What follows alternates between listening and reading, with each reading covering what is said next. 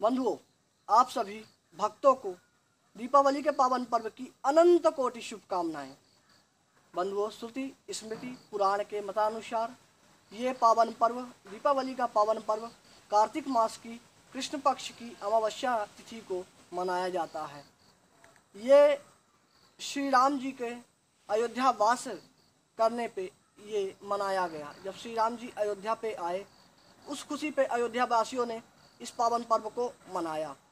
कहा जाता है कि अयोध्या वासियों ने श्री राम के आने पर घर घर पे दीप जलाए। दीप एक कर्म का साक्षी है। बोलते हैं, दीपो ज्योति परब्रह्म, दीपो ज्योति जनार्दन, दीपो हरतु में पापम, पूजा दीप नमोस्तुते। तो सबसे पहले भगवान गणेश का पूजन करते हैं। कहा जाता है, विघ्नेश्वराय वरदाय सुरप्रियाय, लंबोदराय सकलाय जगद्दिदाय नागाननाय श्रुति यज्ञ विभूषिताय गौरी सुताय गणनाथ। नमो नमस्ते। विघ्न हरण मंगल कर्ण गौरी पुत्र गणेश।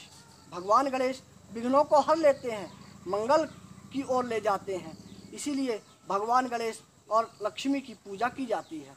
आप सभी को पुनः दीपावली के पावन पर्व की अनंत कोटि शुभकामनाएँ।